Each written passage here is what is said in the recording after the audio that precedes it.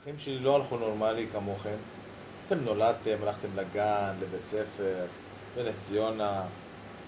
אני נולדתי במקום אחר, עקרו אותי כשהייתי ילד, העבירו אותי לאיזה עציץ, שלא לא השקו אותו, ולאט לאט הפך להיות עץ.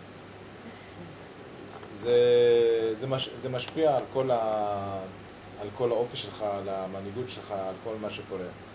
אני נולדתי במצרים. אה, הגעתי, זאת אומרת, יצאתי ממצרים בסביבות גיל תשע פלוס. אה, כמובן, כמו כל אה, משפחה בגולה, חיה טוב. גרנו מעל שנתיים במעברה באוהל, משפחה, חמישה ילדים. שנתיים במעברה היה משהו שקראו לו בית ספר, אבל אף אחד לא למד שם. למדנו ברחוב. אבל צריך להבין שאני באתי ממקום של בית ספר, בית ספר כמו, זאת אומרת, בית ספר פרטי. בית ספר של, אה, בית ספר צרפתי, פרטי, עם הסעה כל בוקר לבית ספר, חזרה עם הסעה לבית ספר, ואתה פתאום הופך להיות uh, ילד רחוב. עכשיו, זה שינוי, זה לא פשוט, אבל לא הייתה ברירה, זה מה שהיה. חמישה ילדים, משכורת אחת של אבא שלי לא הספיק, אני בגיל 13 וחצי הלכתי לעבוד.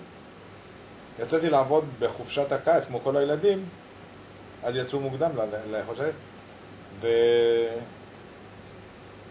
והמשכתי לעבוד עד הצבא. ולמדתי בלילה.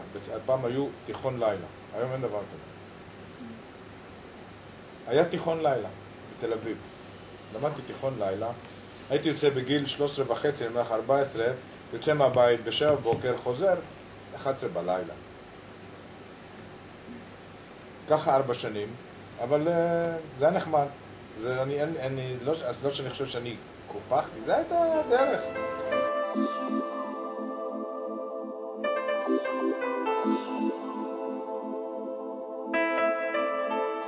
ואני התנדבתי לצנחנים, ולהגיע להיות קצין בצנחנים, בדרך כלל, בדרך בצנחנים של אז, נגיד פלוגה הייתה 80 איש, תמיד היו בפלוגה 20 שלקחו אותם מראש, שייכשלו שיהיו הטבחים והנהגים.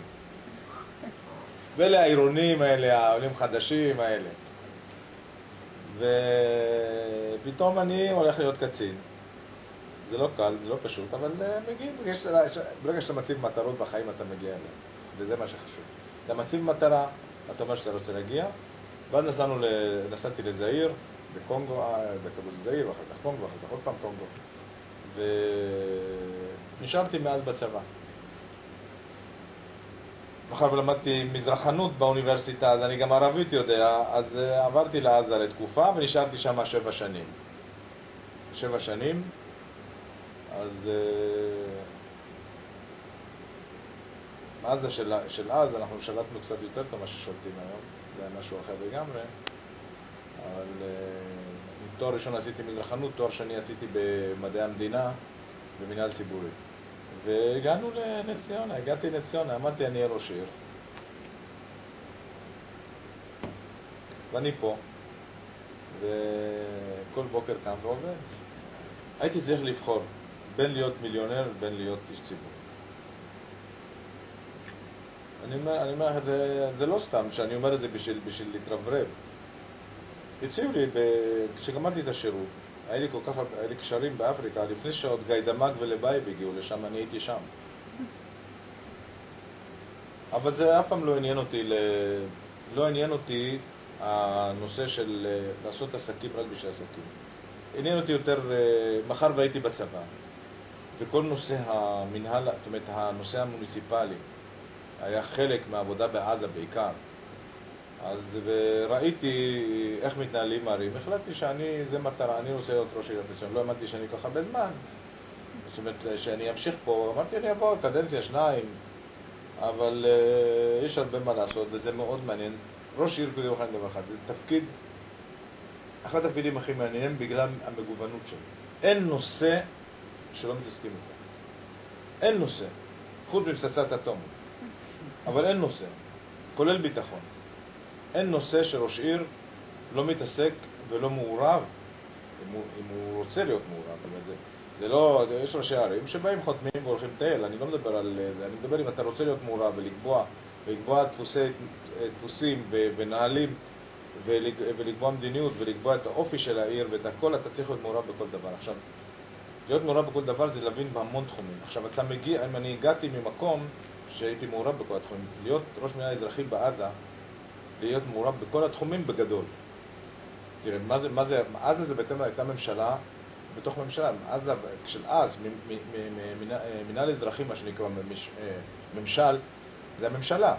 ואני הייתי כאילו ראש הממשלה, היה נשיא, זה היה מושל, ואני הייתי ראש הממשלה האזרחי כראש הממשלה.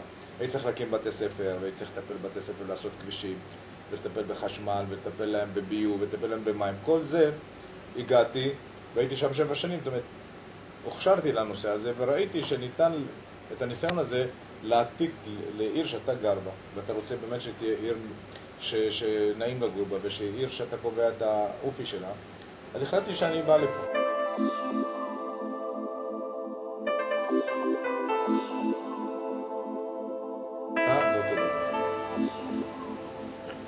פעם אמרו בצבא מנהיגות זה פקודות, זה לא עובד.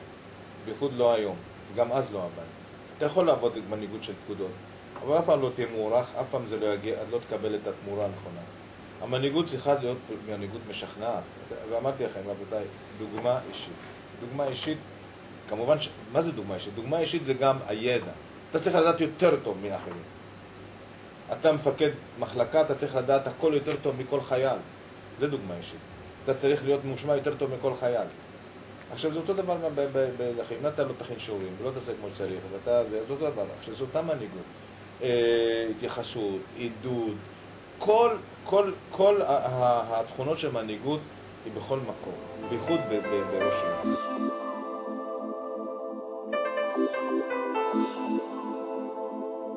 אבל כשאני באתי להיות ראש עיר קבעתי כמה דברים.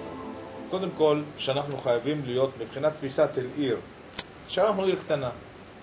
שאנחנו עיר קטנה, ואסור לנו להיות דומים לא לרחובות ולא לראשון. אנחנו חייבים להיות שונים. עכשיו, שונים, שונים צריך להיות גם באופי העיר וגם בחזות שלה. וזה מה שניסינו לעשות. ניסינו לצופף מאוד, לצמצם מאוד את, את, את, את, את צפיפות הדיור. דבר שמשרד הפנים היום לא בעדו, והיא הייתה מלחמה קשה מאוד.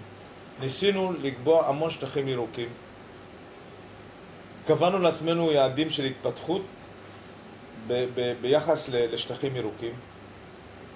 קבענו שאנחנו בנושא הזה נותנים עדיפות לירוק, עדיפות לגינון, עדיפות בתוך העיר. עכשיו, כמובן, העיר שלנו היום זה 17,000 דונם, זה בערך כמו רחובות, אנחנו מאוכלסים רבע מרחובות.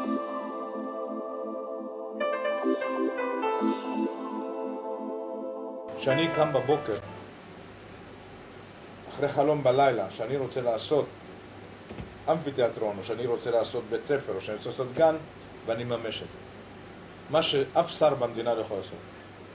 הוא לא חבר כנסת. הוא יכול לחלום כמה שהוא רוצה, בבוקר יהיה לו חלום, חלום בלאוט. ואנחנו כראשי ערים שיש לנו את היכולות, אנחנו מסוגלים להוציא לפועל כל מה שאנחנו רוצים, כמובן במסגרת ההיגיון, אני לא מדבר. וזה, וזה, וזה, וזה היתרון והיצירה של להיות עיר, בגלל זה אני פה.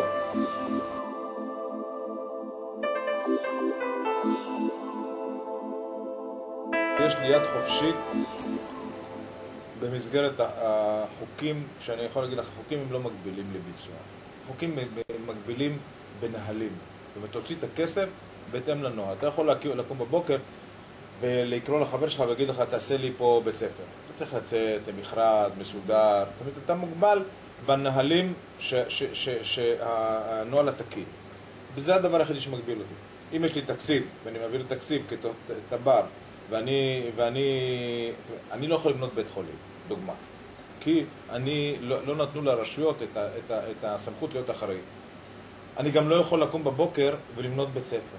אני צריך לקבל אישור של משרד החינוך. אבל אני יכול לקום בבוקר לעשות כל דבר שמשרד ממשלתי לא צריך לתת לי אישור.